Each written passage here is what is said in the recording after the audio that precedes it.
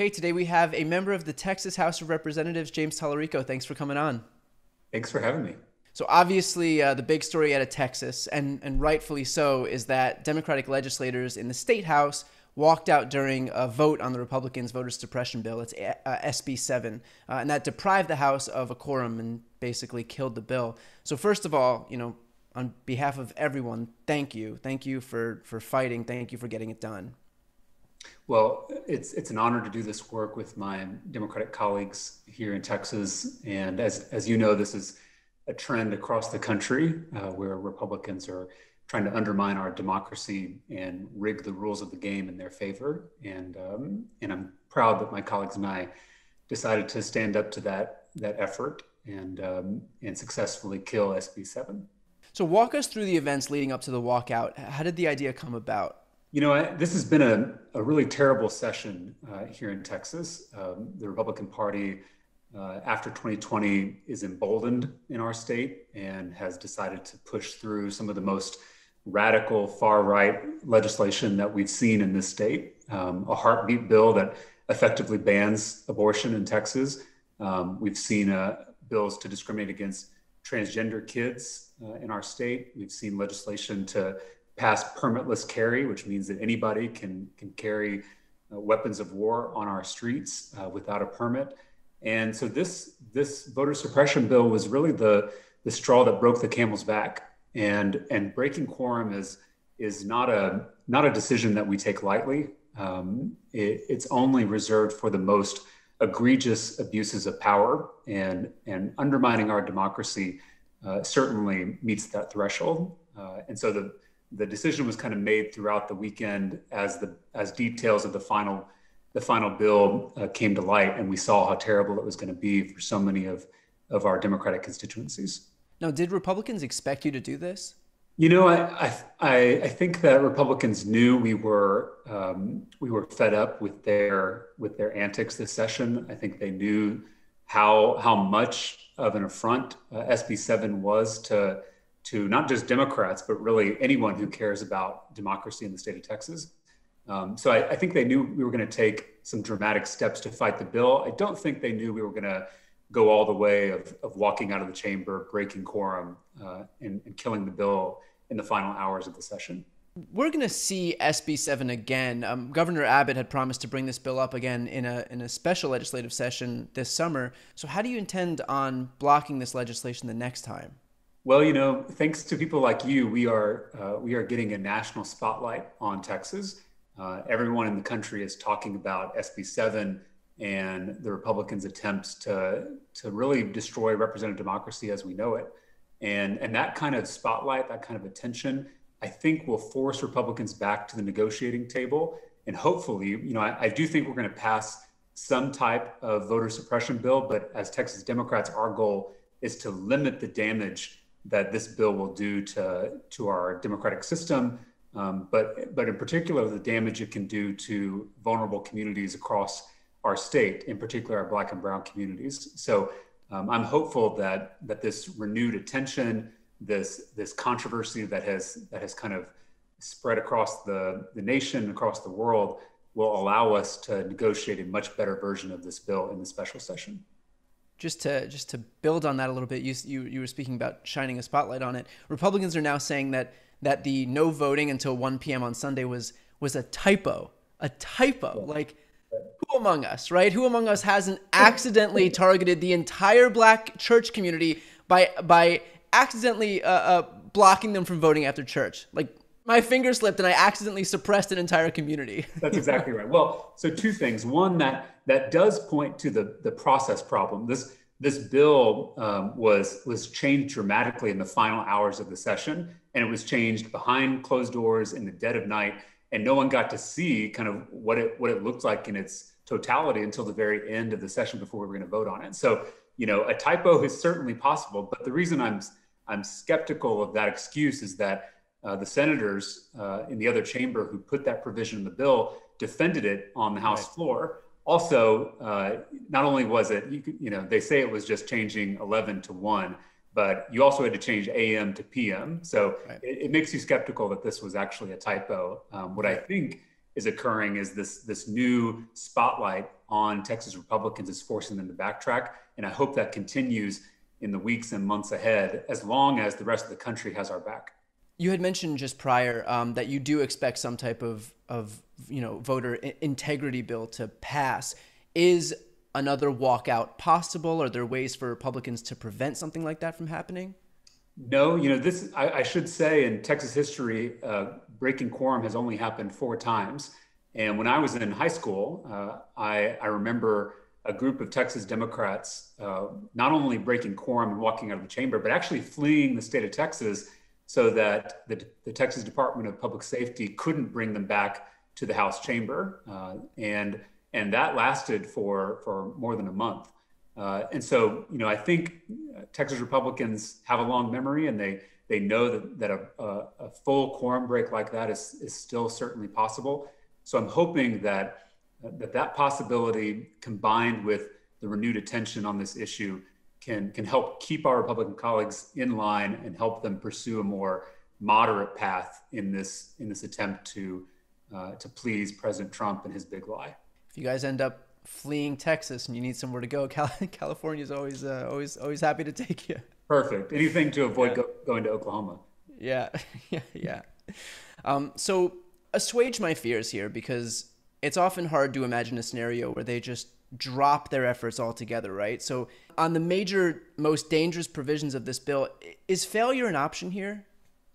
You know, I think I think it's it's you're right to be realistic. You know, we live in a Republican-dominated state. They control the executive branch, the judicial branch, and the legislative branch.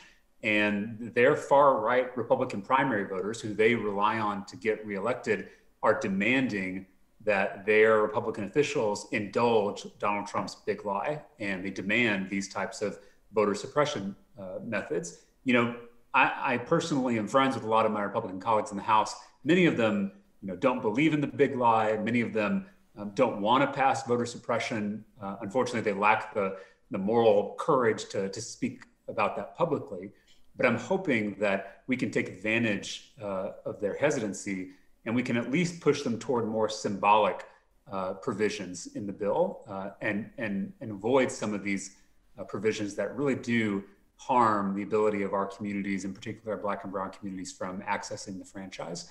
Um, you know, if we can if we can start to remove some of these criminalization efforts in the bill that that criminalize really simple mistakes in voter registration or in voting itself, that would be a big win. If we can protect souls to the polls uh, for our black churches in Texas on Sundays. That would be a big win. Um, you know, if we can limit the the powers of these vigilante poll watchers, uh, that would be a big win. So we need to be pragmatic and we need to be realistic in what we're trying to accomplish here. Killing SB7 is temporary. I don't think we have we stand any chance of killing the bill in its entirety, but we can certainly limit the damage and protect our voters across the state. But I, I want to keep our our attention on national Democrats because Texas Democrats did our part and we'll continue to do our part. We stayed united. We stood up to the bullies in our own chamber, uh, and we've delayed this bill to give national Democrats in the House, the Senate, and the White House time to pass the For the People Act uh, to, to blunt any impact of SB 7. So I hope that Joe Manchin and Kyrsten Sinema and Joe Biden will will take a, a page out of the Texas Democrats playbook. Yeah, I mean, especially you know you're in the minority and still managed to just figure it out, do what was necessary to stop these anti-democratic efforts. Right. National Democrats are in the majority and still aren't managing to, you know, to get their shit together right now. That's right. No, that's exactly right. And and you know, I think we were motivated by a deep um, sense of of history. You know, we we mourn the loss of John Lewis not too long ago, and and to remember what he and other leaders in the civil rights movement went through to to protect this this sacred right to vote, you know that that motivated us to to really rise to the occasion um, and do our part to to honor his legacy. And and it's shocking to me that national Democrats can't summon the same courage uh, or the same uh, commitment to their convictions. Um, but I hope that changes uh, after what we've done here in Texas. Hopefully, Joe Manchin and Kyrsten Sinema are listening right now. I'm sure they're avid listeners. a lot of people do listen, uh, and I hope it gets so. I, I, I have a feeling that they are uh, they're starting to feel the pressure, along with President yeah. Biden, um, who I support. But um, but he has got to know that this is a, a national emergency. Our our democracy is facing a grave risk, um, and and we're you know we are on the path of losing it entirely. Um, so I hope that our actions here in Texas can can shake their conscience uh, and push them to act. So Abbott had also threatened to withhold pay for the legislature. Clear this up for me. The legislature is majority Republican, so wouldn't a move like that hurt mostly Republicans? And beyond that, assuming the legislators just want to get paid, couldn't they just override his, his veto?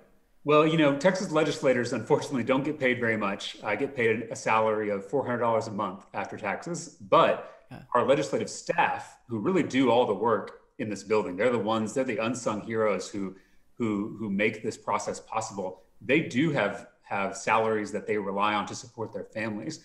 And so Governor Abbott is is playing politics with their livelihoods, and it's and it's both foolish and uh, and embarrassing, but also really frightening.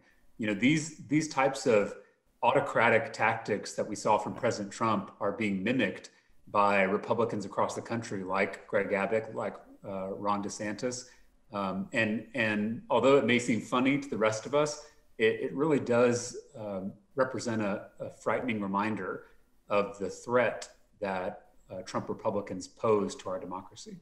So you're 32, correct? As of two weeks ago, yes.